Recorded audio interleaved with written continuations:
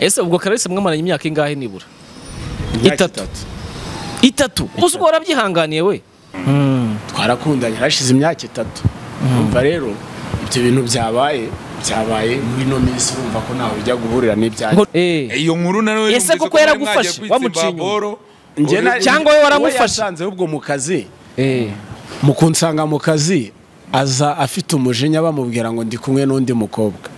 Ese niba ari kumwe n'uwo mukobwa wa wundi mu- Twari mu wa kazi. wawe twari mu kazi ahubwo abakeka bari umushinga. noneho anabafashe bihita bikomereza havuga ati n'ubundi mute murumva atari byo ariko ndimo ndababwira ntabwo muri kunyumva neza ntabwo wamukundaga rero.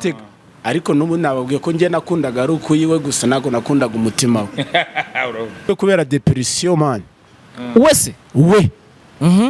Niyo mpamvu yanabukoze byihuse cyane birasa- atitekerejeho birashoboka. atitekerejeho Ni wigeze na yo mpamvu aka kanya- ni na yo mpamvu aka kanya ibi biri kumubaho. Ariko n'ubundi kararisa n'ubusanzwe nyine nima- yari afitemo akantu nyine tukari gucya karizagaramo gake gake. Ariko Eh. mvugisha ukuri wabonye kiriya cyana musigaye mubana na cyo kigutesha umutwe. Jiduka watangiye kumuca inyuma birangira ukamuca kuri kiriya inyuma kuri kiriya cyana aragufata. Induru zaravuze ahantu yaragufashe. baba- ahantu muri kwe babameneyeho imodoka. Ka- eh, niba ari karari ariko se ni ibintu wabameneye- byanarangiye ni ibintu Eh, byanarangiye. Niba atari ibanga byagenze imodoka. Urumva? Buriya hariya ntabwo wabonaga ukuntu ibyana binyitegereza ntabwo aba abibona kandi utabyitegereje. Njye nibera gusa semi uretse gato.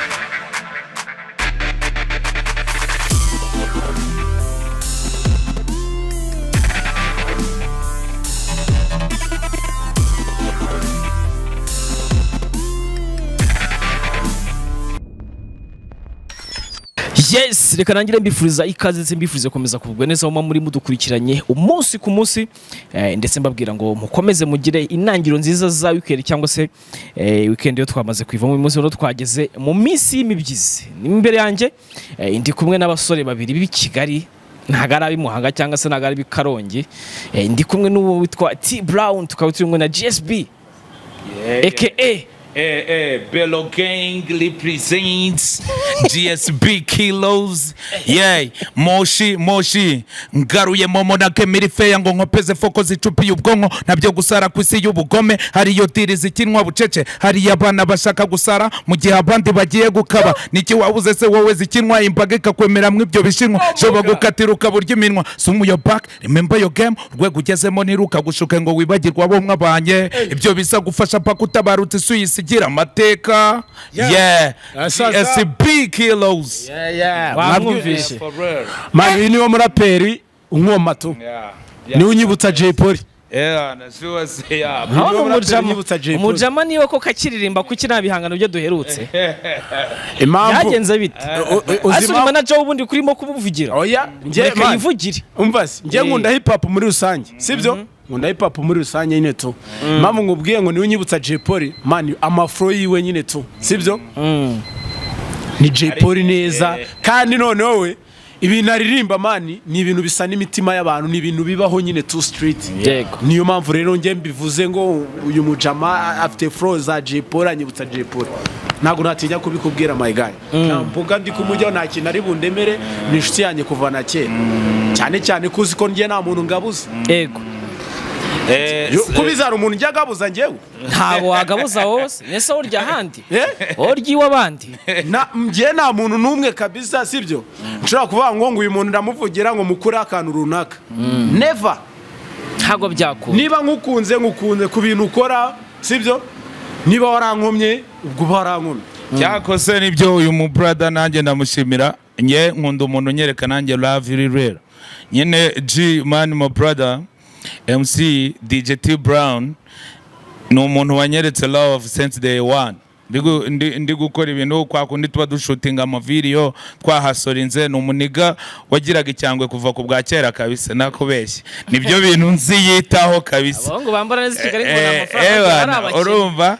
Ayo muniga azi kubafata ni umurara w'imihanda. Iyo uri umurara w'imihanda mwana utandukanye n'umwe wituguza wa umukawuberi wa wundi baba njo Aravuze ngo pasiteri aritukuza. hari aba njo pasiteri ababa niga twita aba jackson.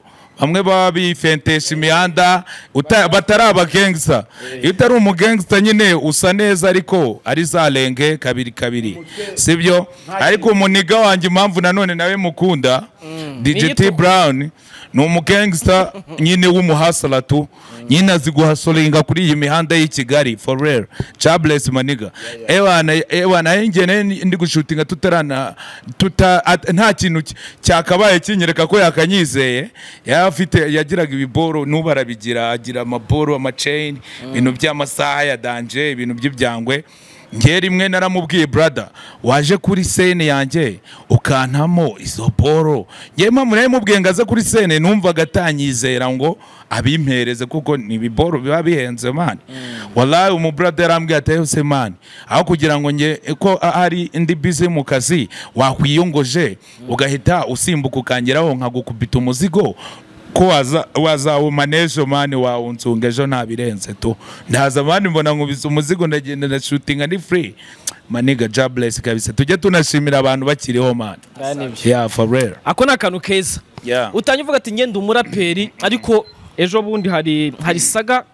Yabaye cyangwa se hari ikintu cyabayeho kivuga ko eh, uwitwa Maji de Black anyeka ko ushobora kuba yeah, umuzi ama G the black ni umugangster wandi. Mm, bivuga yuko ngo yashwanye n'umugore ndetse ngo akaza no kugurisha inzu ye yari iherereye i Kanombe Eh. bakimukira ahitwa hehe? Ujye ujye igitarama ujye za muhanga. Oya hano hafi hano ni ku ruyenzi. ni ku ruyenzi. ya ndetse bivuga yuko aka kanya umuziki ngo akora cyangwa se hip hop akora. Uri umuziki udashaka kukugabu- kukugabura mu gihe udafite akandi kazi ukora. We ku giti cyawe Eh. ndabona uri umuje ndabona uhambaye neza isheni ni ibintu ni fresh. Aha. kuki hip hop nk'umuziki abantu bakunda utagabura?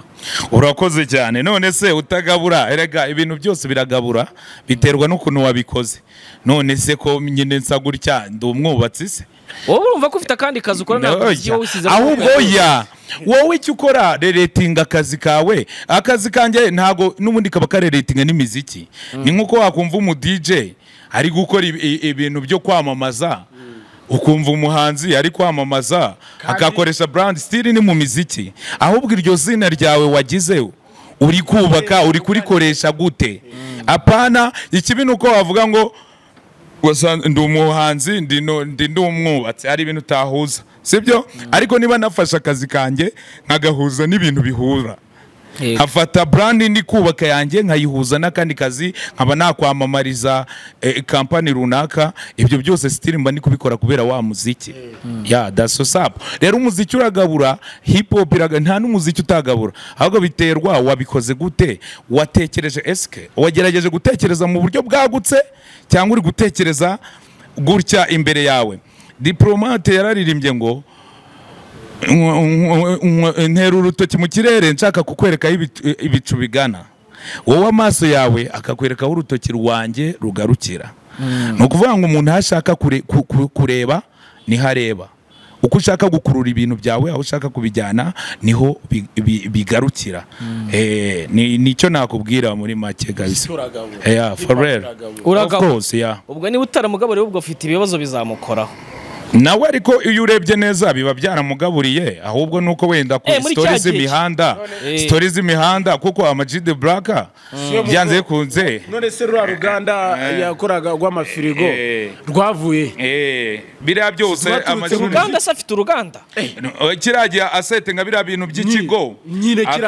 ahubwo kiriya kigo se si uruganda? Eh, igishoro cyarahombye rero niba uyu munsi utari oye. kugabura icyo gihe guhomba cyaba ari ikibazo cye bwite. Ntabwo cyaba ari ikibazo ntitwarenganya abafana ntitwarenganya iki ahubwo buri muntu wese ibyo akora abikora abihaye uwuhe murongo sinzi niba yarahombye amajide black mbona ameze fresh njye n'ubu sitati mu kanya twanavuganye nabonaga ameze powa simbizi nyine. Kuri miliyoni sitori zanyu zo kuri iyi mihanda zose nazishinga muhire. Eh. ntabwo mba mbizi ni mayisha entertainment.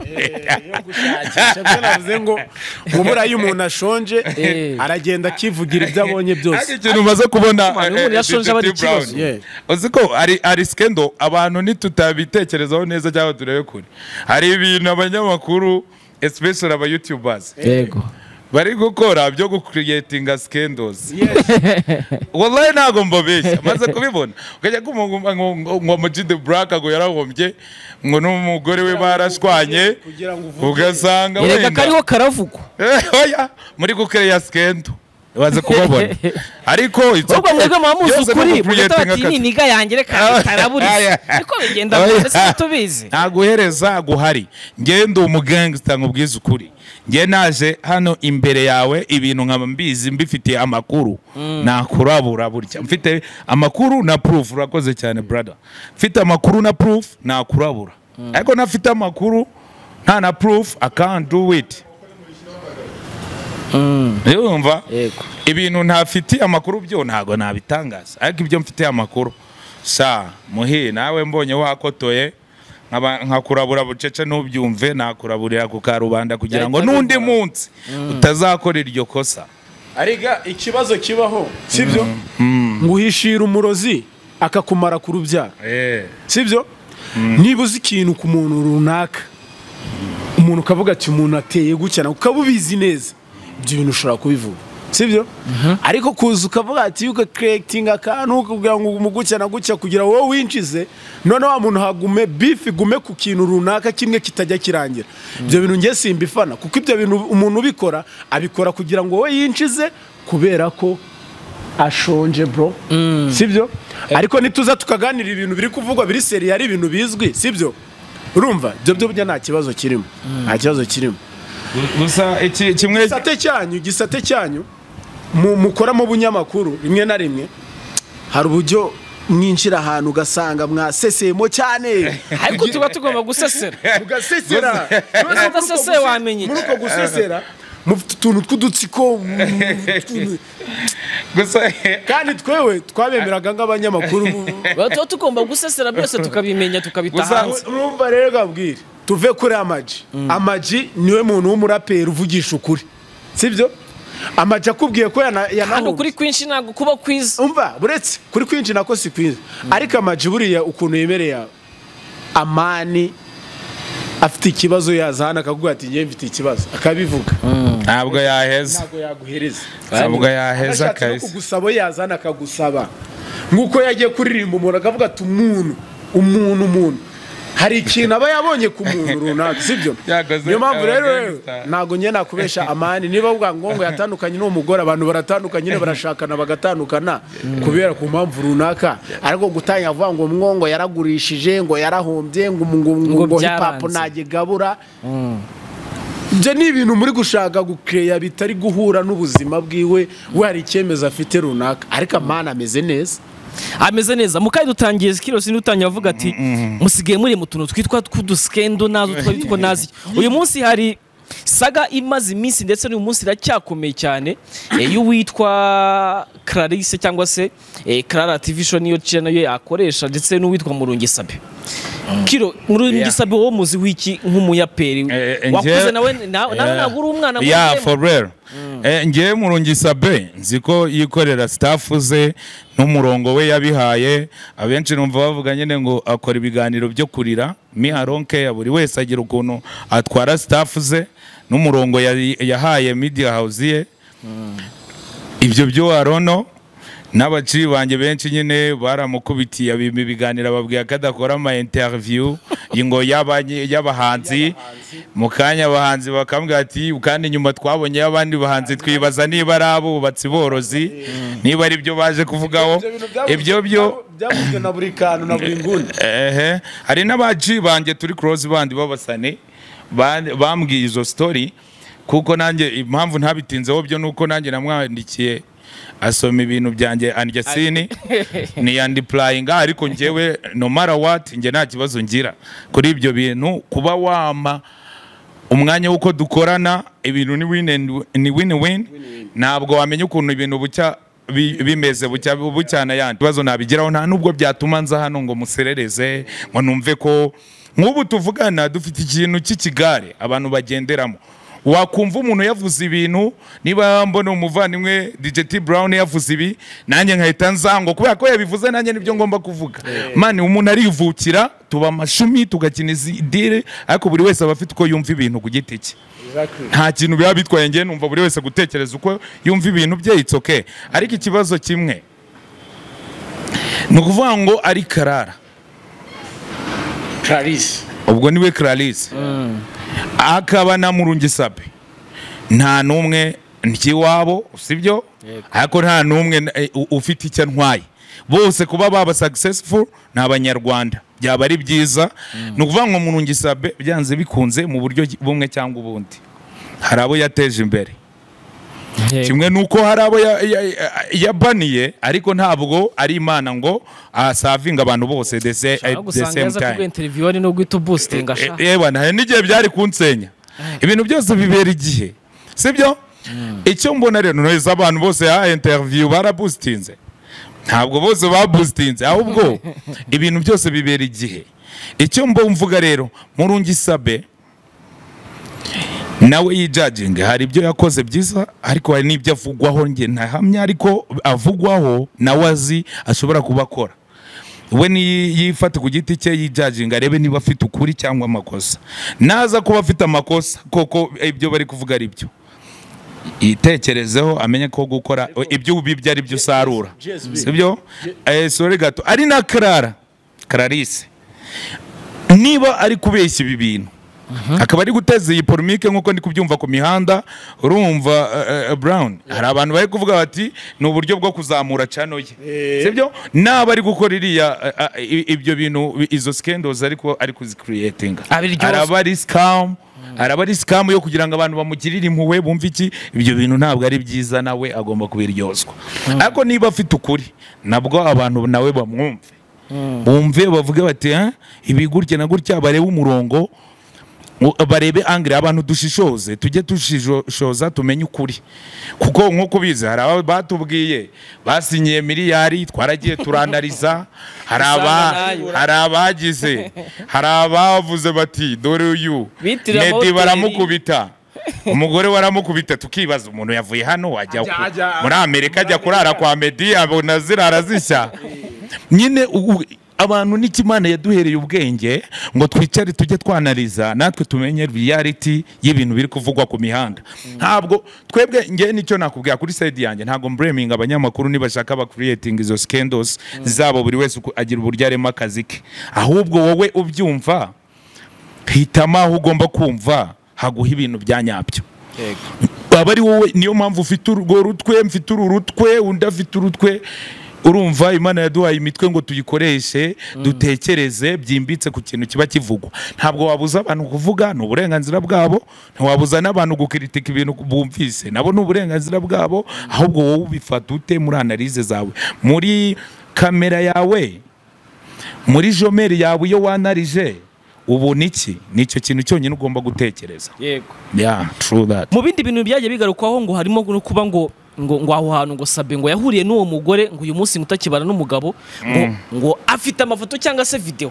Wumva ko sabe uyu munsi ashobora kuba yafata pa- personality afite akaba yajya muri hoteli agafatwamo amafoto cyangwa se akaba ameze nk'umuntu wagiye kwifotoreza muri hoteli ibyo byose nabitindaho niba niba tuzi abaminisitiri bafashwe ba- bagize ibibazo ba- bakagira amakosa ari abayobozi bari mu bayobozi b'igihugu birashoboka ko ari igihe ikiremwa muntu ugotwa imbaraga z'umubiri zikakuru- zikarusha pa- personality yawe. Sibyo?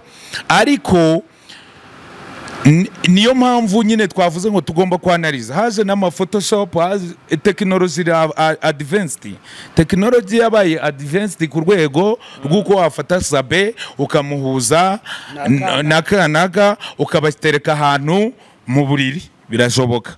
Ahubwo twebwe eh, twebwe ni cyo mpamvu tugigomba kwanariza ahubwo ngenda amenya amakuru y'uko umuntu bita MC DJ T Brown ngo yigeze gutereta Kara- ni karara ni wa mu- wa mukobwa wundi. Ninde wateretse? Namenya amakuru ni Clarisse ariko ariko byanashoboka uyu mutipe nawe mwarateretanye nyuma murangane. Niba ari wowe wamwanze niba ari wowe wakwanze Byagenze bite? Ajya muri ajya muri ziriya skendo zo kwa kwa Sabe mwari mumaze gutandukana agize depression. Ni wowe wari ugize depression. Nyine ndumva ndumva DJ T Brown ari we ufite amakuru. Ufite ayahe makuru duha amakuru. Amakuru mfite sibyo nanjye ibyo bintu byansanze ku mihanda sibyo njye nta nubwo nari nzi ko biri ku nyine ntabwo tugitandukana. Twatandukanye urumva yarashize imyaka itatu. Imwe arakundanye. Ehe twarakundanye yarashize imyaka itatu. Urumva rero ibyo bintu byabaye byabaye muri ino minsi urumva ko ntawe ujya guhurira ngo n'ibyanjye n'uw'inyamirambo nawe kararisa buriya. Iyo nyamirambo nyine ose urumva ari uwahe? Nanjye- bivuga ngo hashize imyaka itatu mukundanye dukundanye kabisa. Harahiye. Harahiye harashya. Sha ino nkuru yo noneho n'akasamutwe noneho. Nakasamutwe. Ariko n'ubundi kararisa n'ubusanzwe nyine nima- yari afitemo akantu nyine tukari gucya karizagaramo gake gake. Ariko Eh. mvugisha ukuri wabonye kiriya cyana musigaye mubana na cyo kigutesha umutwe. Ujiduka watangiye kumuca inyuma birangira ukamuca kuri kiriya inyuma kuri kiriya cyana Eh. aragufata. Induru zaravuze ahantu muri kwe babameneyeho imodoka. Eh, niba ari karari ariko se ni niba ari Clarisse ni ibintu byanarangiye ni ibintu byanarangiye. Niba atari ibanga byagenze imodoka. Urumva babasanze ahantu wagiye gutwika nagira cyane jezebel ashobora kuba afite amakuru ari kuyarya ari kuyanushura ariko aka kanya aka kanya ibyo ntabwo nakabishize hanze oya jezebel araza kutubwira. Eh, uzi impamvu se? uzi impamvu? Eh. iyo saga ya sabe ntagira guhura n'iyanjye ko njye twaratandukanye oya wowe mwaratandukanye ariko hari amateka mwagiranye cyangwa se hari amateka hari- twari- twarabanye tuba inshuti sibyo Eh. buri wese ahitamo ubuzima bwe. Sibyo yaragufashe? Wamuciye inyuma. Amfasha ati. Yaragufashe n'imodoka ibintu imodoka ibyo ni bya bintu kwitsinda. mukuretinga nyine mugashaka Ese siko Njye niyo mpamvu ndi kubaza ndi kubaza Eh. iyo nkuru na yo Ese yumvise koko yaragufashe? Wamuciye inyuma? na- Cyangwa wowe waramufashe? yasanze ahubwo mu kazi. Mu kunsanga mu kazi aza afite umujinya bamubwira ngo ndi kumwe n'undi mukobwa. Ese niba ari kumwe n'uwo mukobwa wa wundi mu- Twari mu kazi. wawe Yego. twari mu kazi. Ah, mwari mu kazi. Twari mu kazi. Yego. Eh, mwari mu kazi. Twari mu kazi. N'uwo mukobwa. N'uwo mukobwa. Uwo mugore wawe musigaye mubana akazi akazi ese dukora si ukazi ndakazi. E, njye nari ndi mu kazi. Yego. Mu kazi. Ego Mm. Adusanga mu kazi. Uwo mugore wundi uwo mukobwa wundi yabasanze mu kazi. Eh. kubyumva. Bari mu kazi. Abasanga mu kazi. Abasanga mu kazi. Kandi akazi ngora murakazi. nawe yari aje mu kazi. fatanya ako kazi. Uretse ko twaba dufatanyije akazi murumva niba nagiye mu kazi uri sheri wanjye. Eh. sibyo? Ukansanga mu kazi ukazana bifu n'ibi- n'ibiki uri kumwe n'undi mukobwa. Uwo mukobwa wundi mwari kumwe mu kazi. Twari kumwe mu kazi. we mwahise mubashirira inyuma. Eh? kuki ari we mwahise afite- mwakoraga akazi muri gupanga n'imirimo. Mbese ubwo urumva afite- ahita profita ahita akomerezaho T Ariko Brown yashatse kutamesa kamwe cyangwa se Eh. kutarya kamwe. O- o- mva ukuntu byagenze Eh. sibyo bujya ukundana n'umuntu. Yego. Uba umuzi unamwigaho urumva? N'ubundi yari afite zagara ndi gushaka kumukapinga? Ajagaraye. ajagaraye sibyo ako kanya rero sibyo ni bwo nari ndimo gushaka undi ariko musheri. wibona ibyana ngo urangare kora interview oya ngeze ndi kureba abana. Urabarebye. Na- urabarebye wikwitukuza ariko ni ugushyiramo poza akongera akabari ako mva kubwira ntabwo naje kwitukuza hano sibyo barabizi ku bantu banzi neza. nuko mbana mikoro urareba kukirebesha itari. Dukomeze sitori umva se kubwira racyo mayigayi sibyo rata ibya kararisa njye nawe byari byararangiye sibyo adusanga turi mu kazi nari nakoresheje umubebi w'umuhositinzi nyine tu. Nagiye kuvuga amazina hano. Kuzi uko guhostinga ariko na byo wumva ni ibintu bya kera mwabitangiye urumva ko guhositinga guhositinga yuko bimaze kugira izina cyane muri ino minsi cyane sibyo? Ariko byatangiye n'ubundi kuva na kera. hari arega guhositinga ntabwo ari uvuga ngo ni ukuzana abantu nabo bahositinga babyina. Sibyo? Hari abahositinga babyina hari abahositinga bakora ibindi bintu runaka umuntu nari nakoresheje nari namuhositingishije mu kazi. Noneho clarissa we ni we yanyugwa aravuga ati reka ndebe aragira amakenga. Agira amakenga. Ariko nubwo muntu na hositinze ari ubungubu ari we musheri wanjye. Urakumva ako kantu oya wirengaho Eh. uwo wari wahosti wari wahostingishije akaza akabasangana karakara Eh. mugashwana Eh. ni nawe wahise Atwara. iyo fenomeno. Ubwo urumva ko? Bari basanzwe ahubwo abakeka bari abakekaga. noneho anabafashe. Bihita bikomereza avuga ati n'ubundi mute murumva atari byo. Ariko ndimo ndababwira ntabwo muri kunyumva neza. Ntabwo wamukundaga rero. ariko n'ubu nababwiye ko njye nakundaga ari ukuyiwe gusa ntabwo nakundaga umutima we. Abonye cyane arapofoka waramuharaye rero. Naramuharaye Ntabwo namukunze. Maze kararisa agutaye mu busi- mu muntu uza mu- mu- yagutaye indobo ariko navuga ahita akora ubukwe. Namutayeho ubwinu Oya. okay ubu yakoze ubukwe. Yahise akora ubukwe. Gukora ubukwe gukora ubukwe. bivuze yuko ubukwe ni we wataye undi ndubu wakoze ubukwe. Wakoze ubukwe. Eh, ni we tura tureke tu ntabwo kubera ko ubwo yahise amuha igikomere. Urumva avuga ati ubukwe kagomba kubera reka nkate depression. yahuze. Yakoze ubukwe kubera depression man. Wese we niyo mpamvu yanabukoze byihuse cyane yirukanga. Eh, atitekerejeho atitekerejeho Ni na yo mpamvu aka kanya ibi biri kumubaho. Nese wowe wigeze umuporopoza kuba mu- muzabana? Njyewe se yago yaharaye rukuye. Yari akeneye nyine dimbi dori tu tu tu bikarangira. Ariko ubu nahisemo neza. Yagoze uburaya sha umuntu wakuvuye uburaya. Nahisemo neza. ibaze nk'ubu kararisa amagambo Na- yakuvugaho umukobwa zamugurira agafanta. Si umuzi mu bebe wanjye Eh, si umuzi areba. ibaze nk'ubu amagambo karisa yavuga aramutse nawe avuze kuri wowe. Eh? Ashaka kuvuga amabi yawe ukumirwa umurego nagenda- we. nagenda yavuge ahubwo ahubwo mu gitondo kare kare nsange bwibuze yanabivuze basi. Mvuge nanjye biragaragara ko wari wamuzonze umuca inyuma kenshi.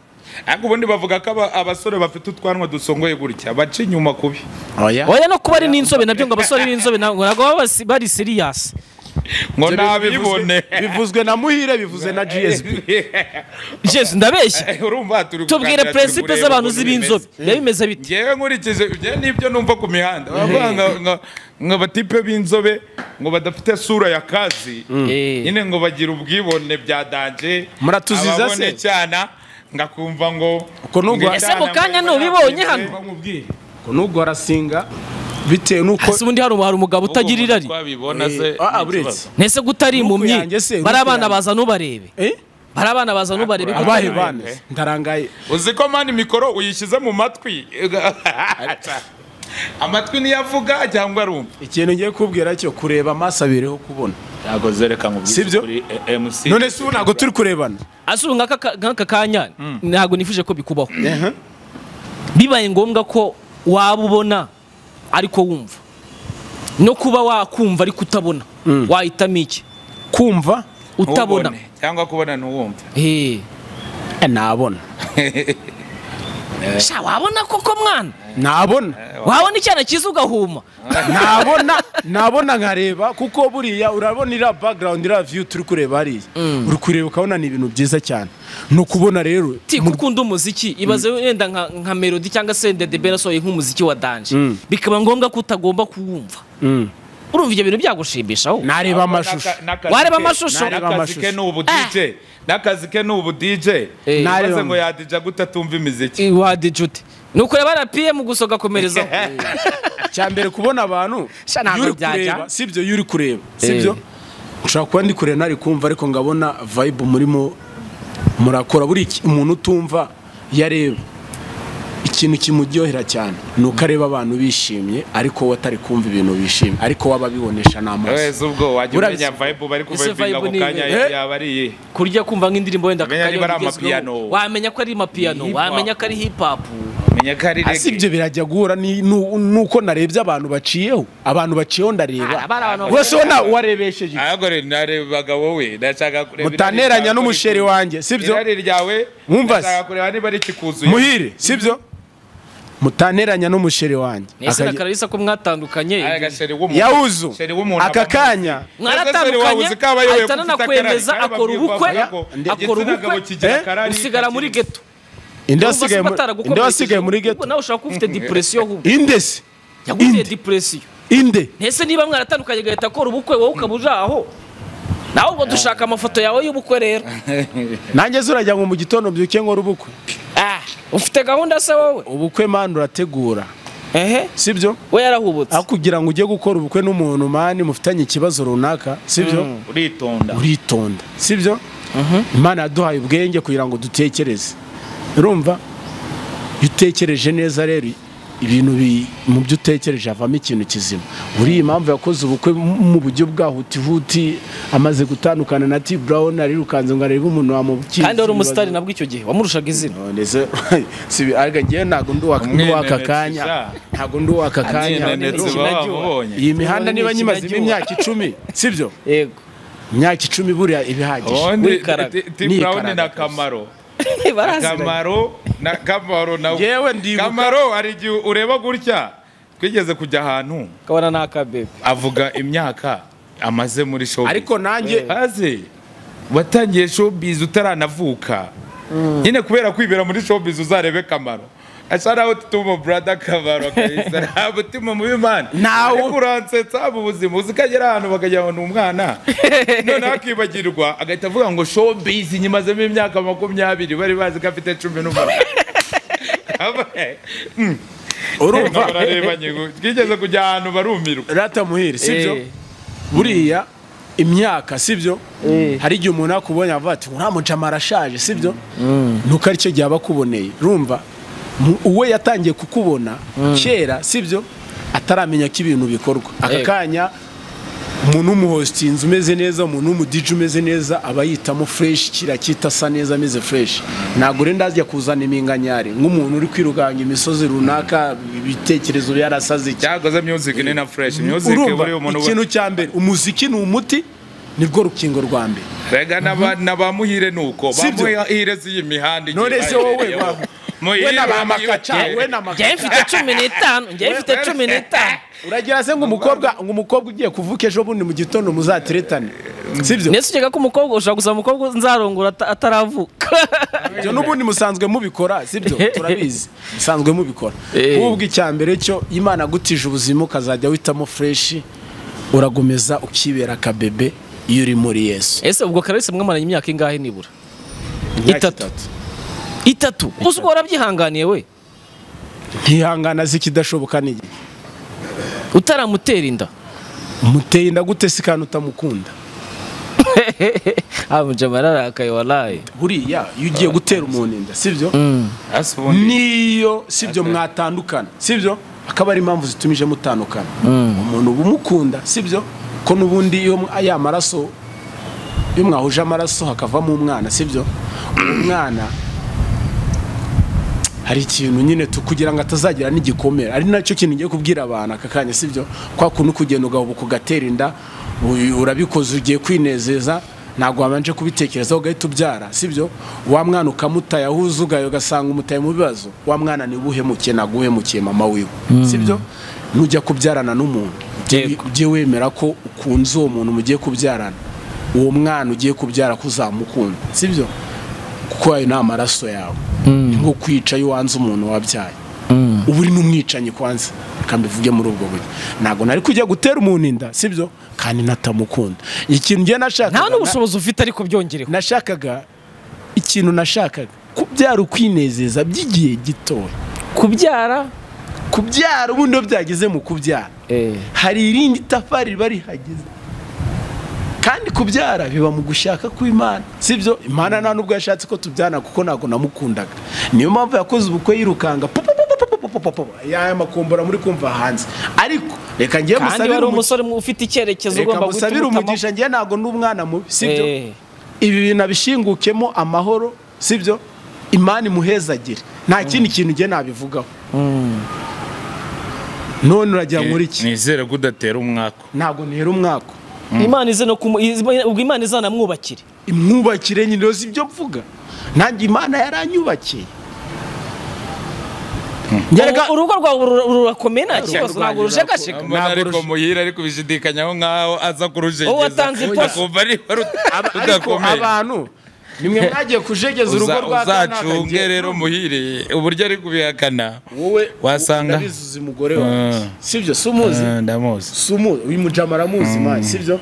Ariko uwo mugore we tuzamubaza akamaro niba na yo ataziranye baramuzi cyane cyane ko umugore wanjye ntabwo ari umu- ajya muri social media sibyo? Ni umuntu uri poze umeze fresh sibyo? Nta mutima muba agira ameze neza kuko kananamusuhuze sibyo? To you. Ura- arakuzi nanjye. Muraziranye. baraziranye ariko ntabwo baziranye muri bya bintu bibi umuzi mu bintu byiza sibyo? Yeah true that. Ntabwo njye namusije muri social media ngo agende ngo ngo nze ngo- ngo nshireho n'ifoto ye ngo mumubone. Gusa icya mbere iyo ukunda umuntu uba umukunda. Sibyo? Kararisi rero nakunze. Gwete. Eh, by'ako kanya Wakunze? Yakunze Nyashi. gwete yakunze Yari afite gwete. nyashi. Eh, yari afite nyashi. Ngewe cyiza ngewe Clara sinabeshya. Clara ndi kumwumva kuri iyi mihanda uramubona? ye ntabwo Clara kabisa naba nkubeshye niyo mpamvu navuze ni ngewe story ndi kubona ku muhanda. Nizo ndi bwanarize. Ntabwo muzi. rwose Clara nkurikije kwa ibintu ndi kubona. Kwa- harakongoka kwa- kwa- kwa- kwa DJ T Brown ngo harakongotse. Harashya sinzi niba yaranagukomye cyangwa waramutaye n'akazi ko mu bunuze karajegajega nawe rega ni uko uri kuvuga verisiyo yawe. Ubu ni bwo ari kuvuga. Ubu ni bwo ari kuvuga. uri kwivuga. Umva se nkubwire hari igihe aje akavuga yavuga ati nari- uriya mu buriri yari umwana. Nari ni umu- Eh, birashoboka. Nari umudije sibyo? Ehe we bundi yagiraga jaruzi nyinshi cyane. Sibyo? Ibyo byanagarutse mu makomante bavuga ati ashobora kuba ari umuntu ugira ishyari. Sibyo? Eh. Ngo wowe nta byo kuvugana n'abantu kandi njyewe nkorera fe- femu yanjye ubundi aba ari kenshi ni igitsina gore mani femu yawe? Eh. ishingiye ku bagore? Ni abagore nibo bafana. Yego. Kuko abafana buriya abafana niyo mpamvu wanitukuje. Ntabwo nitukuje. Uba witukuje mu mitekerereze. Reka umanze nkubwire uba witukuje mu umuraperi. ko nzi ko abaraperi. Ziba zita chest bag. Buretse buretse Erega ibintu uyu biba mujama ajya gutuma mugaruka. Ase Biba ibijezi. update, abo haba harimo Jezi. ibiki izi ni Please. haba harimo ibikoresho. Kugira ngo wemere. Muhire. Wallahi. Haba harimo reka ibiki turebe ibirimo muhire. Eh. Aka kanya sibyo tuzi ko rap. Atarimo amafaranga Uretse- byagukoraho ndetse turebe turebe ibirimo. mbabare uretse ikintu kirimo. Uretse uretse. Uretse uretse. Ntabwo ari amafaranga. Sibyo Ehe. tuzi ko abaraperi abaraperi aba ari abantu b'abatsaperi nyine tu. Sibyo ntabwo bagendana ibintu by'ababayi. Ibintu Ni mbizi ku bantu. ibi bintu mbizi ku bantu. Babandi bajya bavuga ati abantu mbiziho. Ni ba bantu b'abajama bakubita nyuma aba MC erega ariko zara ngo aba DJ. Ngo erega ngo ngende umu DJ Wabaye umutinganyi mwegereze mikoro mwegereze mikoro bivuge igitsina gore. Ngo igitsina gore ngo igitsina gore. Ibaze inshuro avuze igitsina gore. Ngo ngewe ngo ndi umuyemusi ngo w'umu DJ ngo w'igitsina gore. Udijira igitsina gore gusa. Nakubwiye ko ntabwo navuze ngo ngo igitsina gore. Ehe. Nakubwiye ngo femu yanjye abantu bankurikirana ishingiye ku gitsina kubera iki? Kubera nyine kwitukuza. Uba witukuje reka kwitukuza mvuga ntabwo ari ukwisiga mu korogo. Kwibendegeza mani Kwibendegeza gute? kwipfushisha mani kurishisha. Urarishisha ahangaha mwana kuri iyi mihanda walayi afite ipantaro. Yambara induru zikavuga. Imeze iti yindi ibanye imuhambiriye. Ariko kubizi ngewe kuva na kera nindi umutsaperi sibyo? Ariko wayakura umutsaperi w'umugangsta mwana. Ah, ugomba w'umukapo, w'umukapo. bu- bu- bu- bunjoboyi mwana. Wowe urataho bunjoboyi wowe. None se aka kanya nambaye joboy ariko isipanu nsiga mbona abakobwa bazambara izi izi bunjoboyi barabizi icara. Icara. urinega Icara. my god. Ndashaka reba bre- oh ya nta muraperi. Njye nta muraperi Byanditse he? sibyo. Byanditse ko nta muraperi ugomba kugira chest? nakwemeraga nk'umuntu uzadutsimburira Jay Polly wanyemeraga muri chest bag cyangwa unyemera mu aka maverse? kanya rero. Unyemera mu maverse na yo mpamvu reka nkubwire aka kanya. Sibyo?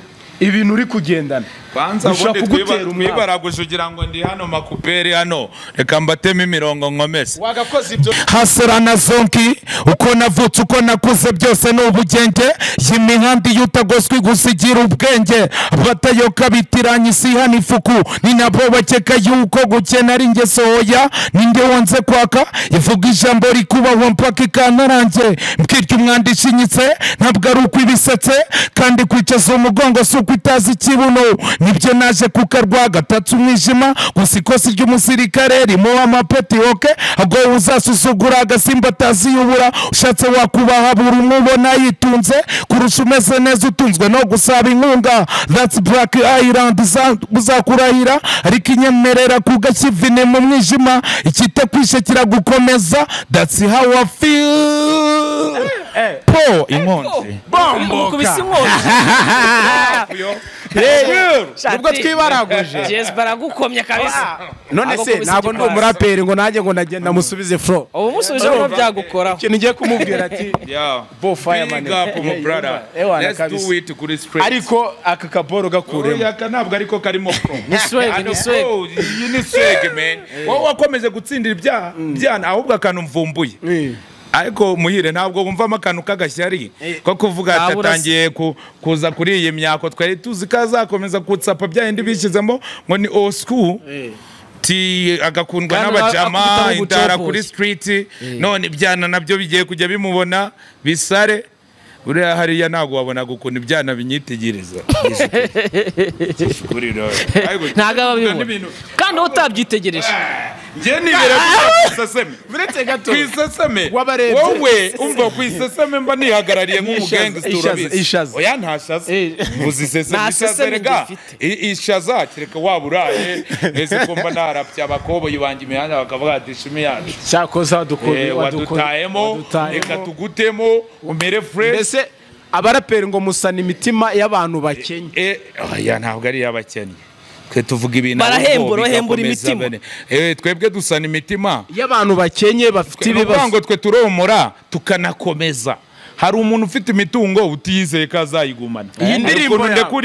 Uretse. bakavuga ati ha muhire sibyo indirimbo yawe ngo ntabwo yakumvwa n'umukire utwaye ariko veni Eh, ahubwo bayitwa ahubwo ni bwo bayumva. Uzi ko utabizi uzi Uretse. uvuye hano ugiye ku gisenyi Eh, waparitse ve- unagura muri vewiti yawe wafunze isambusa ugenda wiyumvira vibe za ibyo ni ubundi indirimbo iyi ndirimbo wese w'umudiaspora. gira umvwa n'abantu bamaze w'umudiyasipora ufite mayindi nyine? Ufite mayindi ya, kure? Apana gukira uvuye za kanyarira. Urumva? Nyine wa- wa- wakize uri umunyamugimana ugafunga isambusa ukigira igisenyi wumva urumva vibe ni ariko hip hop uvuga urabizi eh uzamura agasitero Eh, akabaze umva. ugahongera gakeya ugenda unyengera uzamura iyi ndirimbo yitwa ngo iki iyi ndirimbo yitwa ngo iki iyi ndirimbo yitwa akarwa. Sibyo? K'umwijima yitwa akarwa nese ni we wayiririmbye? Mu kanya umaze kuvuga gute? Uvuze ko utari umuraperi? Usibye kuva n'abaraperi nawe nawe. Urumva? Reka abaraperi bavuga ibi- ibihangano. Uri kwica ibihangano? Niwe wabihanze. Kandi atuzwe n'ibihangano. Eh, Ntabyongerewe. ni ukuvuga ngo turekura ibihangano uba ugomba nawe kubidija urumva? Turuzuzanya mu kazi brada ariko niko bimeze. That's what's up. Ja. tugigana ku musozo w'ikiganiro cyacu ushaka kugira ngo eh, T-Brown no muri iyi minsi atubwire ibintu ahugiyemo atubwire eh, showbiz uko abone ihagaze muri iyi minsi. Showbiz rero ihagaze neza ariko ihagaze hari ahantu nyine igenda nyine tu. Nuvanga aka kanya ihagaze neza ariko hari n'igihe ihagarara nabi mujye mushaka amakuru sibyo afatika ku bintu runaka. Mugiye kubaza abantu mugiye no kuvuga. Sibyo kugira ngo mutagira abantu mubangamira bamwe na bamwe. Sibyo icyo kintu cyo nabwira abanyamakuru ibintu byo kwibaraguza ugasanga akantu koze n'ibisazi inyuze hariya mukayanarizaho mu bintu bidafite None se shinge na si byo rugero. nyine? sibyo oya ntabwo ari ubunyamakuru bw'umwuga. sibyo mujye mubikora kinyamwuga. Kandi uko nawe utangiye kujya ushaka gusesera bya wahoze uvuga oya njye mbibona buri munsi ugasanga abantu bashizeho inkuru runaka ugasanga ngejo mu gitondo nanjye ubu ba- ntitumenye ko uri ex wa karara. Murabimenye nyine kubera mwinjira mu makuru ese ubwo niba waramwanze udafite impamvu yamwanze agahita akora ubukwe bwe ntitubimenye. ako- kantu turabubaha Eh. ako kantu muzagakosore nk'abanyamakuru. Aho wabuze no gutera ivi basi ukamwambika na fiyansaye nawe ukaba uyigendanye. Mfite uwo nzabikorera. Arahari. Umeze neza cyane. Nkunda umutima we. Arahari ibyo nzabahamagara nk'abanyamakuru muze mbibereke iby'ejo bibara b'ejo ibyejo oya na- n'aka kanya nshaka njye si ko ubushobozi mbufite ahubwo icya mbere urumva icya mbere kiba kiriho. Ni uguhuza n'uwo muntu time afite ibyo ibintu byari gukora sibyo na byo uri gukora. Ku bushobozi bwo gukora ibyo byose kuza gutera ivisi kuza hano muri Great Hotel ngaje- nga- ngafata miliyoni ebyiri ngakora ibyo ngabatumira mu miliyoni zingahe? Miliyoni ebyiri. Ati bro ibyo bintu wajya miliyoni ebyiri ze si ugutera ivi si ukuza mu kanwa si cyo kiba kibaza. N'umiceri ngabashyiraho z'amagande. Z'amanyarwanda. Sibyo? Ngo ni cyo kiba kibazanye. Urumva urumva. Mukaza nkwamagaye aka kanya ngo nateye ivi. Ati ngwino hano harimo mitsingi zingahe? Eh. si moto z'ako kanya. Ibyo birashoboka rero. Ahubwo ibyo bintu ntabwo turi bubikore aka kanya kugira ngo tunezeze iyo mitima yanyu. Sibyo? N'ibifu byanyu. Ejo mu kanya ari namwe mutuvuga. Nibyo bintu biba ku bantu b'abasitari sibyo? Bakora ubukwe ugasanga ejo mu kanya bibi. Manze mutekereze ku kintu mugiye gukora. Cyakora usigaye uzi ubwenge kuva batandukana na Clarisse. None se urumva ibintu byose baho kwigishanya. Nta kintu buriya iyo waciye mu kintu sibyo? Ukagicamo. Inzitane wanyuzemo amaho watambutse niyo mpamvu reka nsubire mbite mvuga ijambo perezida avuga perezida wa repubulika y'u rwanda. Avuze ati twewe sibyo? Twaraburaye twaraye twanyuze ahantu hafatanye n'ibiki aka kanya nagura tucira inzira y'ahantu turi bunyure. Sibyo? Iyo uzi ikintu cyakubayeho? Sibyo uzi ikintu cyakubayeho? Kikwigisha isomo ry'ibintu ugiye gucamo ako kanya right now. Sibyo? Niyo mpamvu rero abantu rero mujye mukora ibintu mwabanje gutekerezaho.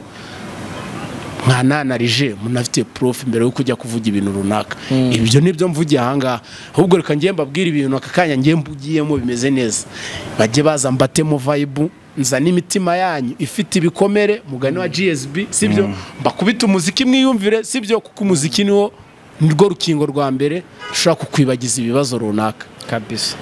Nanjye mu DJ ushobora kuba uri gucuranga imiziki ngacishamo nka n'akarimbo k'imana gasa n'imitima y'abantu. Eh kugira abantu bakomeze bishime ba- bamere neza cyane. DJ T Brown ngora kuri Great Hotel sibyo? Ngakorera n'ahandi hantu runaka. Wigize umukongomani? Nabyo byongereho? Ntabwo nigize umukongomani. Ahubwo twewe abakongomani impamvu iyo babonye umuntu w'umutsaperi usa neza bavuga ngo ni umu ase abakongomani bo bambara neza gusa. Abasaperi. irumva? Eh. uku, ndimo ndasino ari uku. Uku ni usuku. amafaranga sibyo? Kandi amafaranga ava mu gukora sibyo? Iyo wakoze rero uba ugomba gusa neza sibyo? Rero rero ntimukazajye mubona umuntu usa neza ngo ni umukongomani. Ntabwo njye ndi umunyarwanda. Ndi umunyarwanda. Ntabwo ndi umukongomani. Ahubwo kukimwishizemo k'abakongomani ari bo bambara neza. ari bo bambara neza. Kandi njye sinanabibona. Buriya niba muzi kureba abantu bambara neza. Mu gihugu cya turikiya abaturukiya bambara neza. Eh, bi- bihagaze gute? Okay. Nk'uko mumaze kubivuga reka mere nk'umuntu ugiye gufa- gu- gu- gufata ijambo muri rwanda neza. nk'uko melody yarivuze nk'uko yarikocoye ariko melody charlotte kabisa. Melody asigaye agenda hariya agahagararira u ni rwanda. umudipolomate kazi Akavuga- ahagarariye abahanzi. Ntabwo ari ahagarariye abahanzi bo mu rwanda bose tubyemere. Si ibyo bya bintu byo kuvuga ngo kera numvaga amadisikuru bavuga ngo ngo ntabwo isura ye yacuruza hacuruza isura cyangwa hacuruza ibintu uri buhereze abantu. Mu mutwe. Mu mutwe ni ho hakora. Eh, wa mujama muteze iminsi si yashizeho amadirede ariko ko wagira ngo bruce melody yakwishyushya icara. Bruce Melody tuza nanjye mvuga ibyo mvuga sha. Mwiza nk'uko nawe uri umuhanzi twicaranye hano Eh, what's up eh. That's what's up. Sasa ibintu ni amahoro ibintu ni umutekano. Everything is a gucci thing. Yeah they already know from the streets. Yeah you already know man. That's what's up yo. Nizere ko mumeze neza cyane. So rero abantu mu kanya wavuze ngo kuki gsb kilos udaheruka gusohora indirimbo? Kandi nijoro nasohoye indirimbo yitwa ibisekuru. Ntese uko itarangiraho aroba indirimbo yageze kuri mega youtube. Nta mega ufite usigaye warakennye abadiyasipora ntabwo bari kugutamo se ntabwo abadiyasipora bari kukumenamo. Eh, nasohoye indirimbo yitwa ibisekuru. Nari bizi ndi gukoramo tracks kugira ngo ngende menye izo naririzinga. Ubu tuba turi muri session yo gukora indirimbo. Ubundi igihe cyo kuririzinga cyane ntabwo kiba cyari cyagera fresh. Ubu ni busy mu kazi gukora ibintu byinshi ucungana n'uko sama izagera ubatamo ubugome Eh, noneho kuri iyi nshuro ni na cyo naboneraho kubwira abantu maze igihe naragiye mbahereza vibe za oscu nkabakubita boro z'amatrap nyine kuri iyi nshuro ngiye kubakubita n'injyana nari narigeze mbakorera izi rap date ziri current.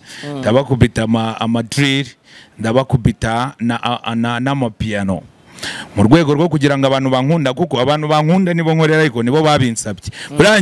Atari icyifuzo cy'abantu bankunda kubera ko ngewe nubaha abantu bankunda.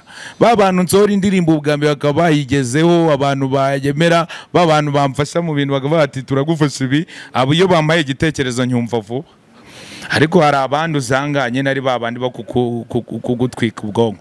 Rero bo barambwiye bati ariko wagiye unyuzamo ukatutwika n'utuntu tutu uzi rapu y'urukundo ukuntu biryoshye uzi amapiyano vibe muri club tukajya twumva boro za gsb turi kwinywera icupa turi ku mazi. He dutema ibintu by'ubugome. Naravuze se ko ndi umuhanzi.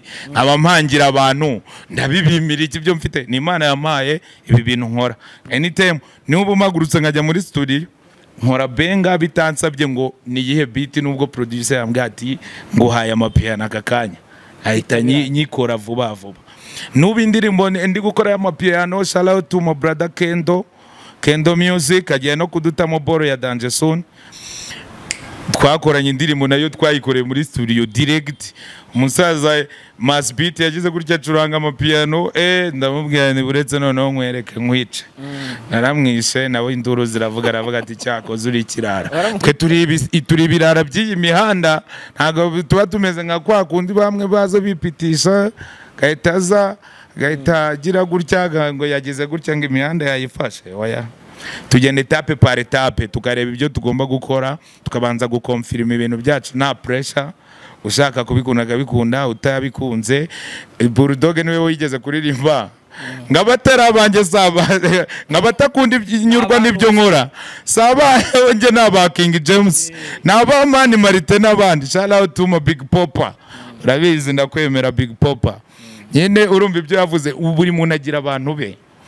Ariko abantu banyenye ngomba kubaseriva imiziki iyo bashaka.